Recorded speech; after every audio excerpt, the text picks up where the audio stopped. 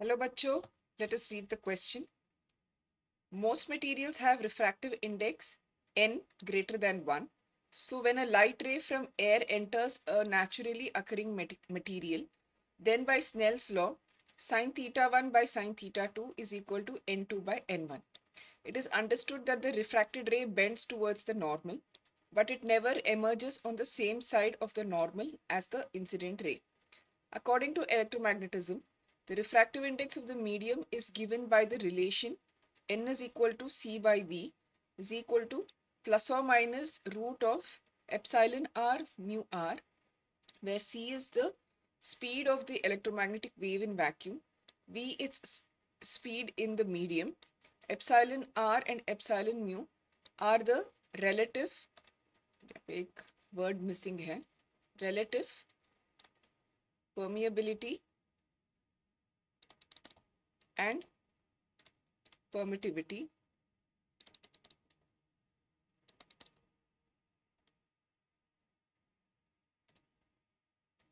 In normal materials both epsilon r and mu r are positive implying positive n for the medium.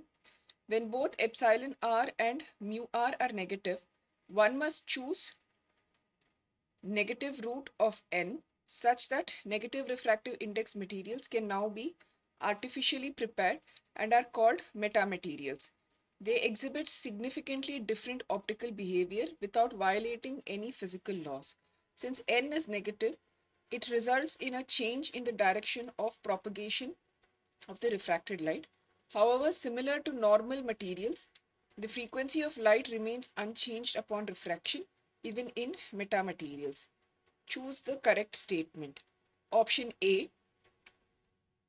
the speed of light in the metamaterials is V is equal to C into modulus of N.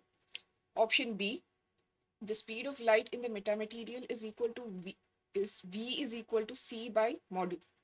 modulus of N. Option C the speed of light in the metamaterials is V is equal to C. Option D the wavelength of the light in the metamaterial lambda m is given by lambda m is equal to lambda air into modulus of n where lambda air is the wavelength of light in air तो इस question का की concept है Snell's law of refraction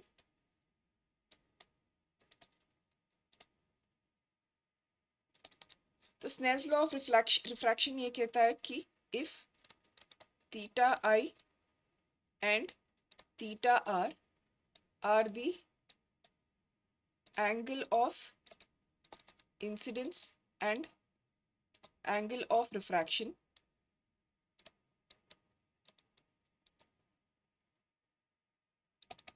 and if n1 and n2 are the medium for theta i and theta r respectively तो हम ये लिख सकते हैं कि sine theta i by sine theta r is equal to n two by n one तो अभी इस क्वेश्चन को सॉल्व करने के लिए पहले हम एक रे डायग्राम लेंगे depicting the metamaterial for metamaterials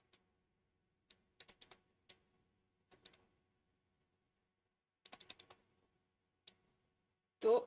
अगर ये सरफेस है जहाँ पे the light is getting reflected तो ये नॉर्मल है ये सरफेस है so this is surface this is the normal So, any light ray which is coming at, say, theta i तो मेटा मटेरियल्स में नॉर्मल मटेरियल में ये जो रेड में दिखा रही हूँ, ये नॉर्मल मटेरियल में रिफ्रैक्शन होगा। This is if n two is one and this will be if n one is greater than n two तो इसको this is for normal materials तो मेटा मटेरियल्स में ऐसा होता है कि लाइट इस तरफ़ रिफ्रैक्ट होता है। It is on the same side as that of the angle of incidence तो ये होगा तब theta r so here this will be theta r for normal normal materials. So this is for rarer medium denser medium mm, this is reverse so this will be for metamaterials तो Snell's law जब हम metamaterial को apply करते हैं will get a negative theta r so this will be sine theta i let's see this is n one ये है n two divided by sine of minus theta r is equal to n two by n one तो अगर N one air है so we will take the refractive index is one for n one equal to one is air तब हमें we get minus sine theta i by sine theta r is equal to n और we can write sine theta i by sine theta r is equal to minus n पर हम ये भी जानते हैं कि the ratio of the refractive indices so n two by n one is equal to c by v तो इस case में minus n is equal to c by v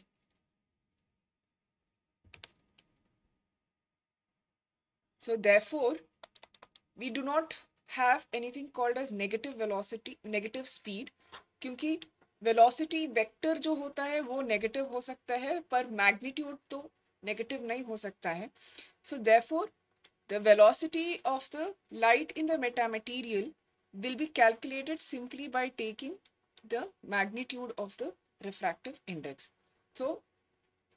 जो even though refractive index यहाँ पे negative है velocity का calculation वैसे ही करते हैं, जैसे नॉर्मल मटेरियल्स के करते हैं। सिर्फ़ फ़र्क इतना है कि यहाँ पे नेगेटिव रिफ्रैक्टिव इंडेक्स है और speed of the light in the medium calculate करने के लिए modulus of the refractive index लेते हैं। तो अभी क्वेश्चन पे जाके हम करेक्ट ऑप्शन मार्क कर सकते हैं।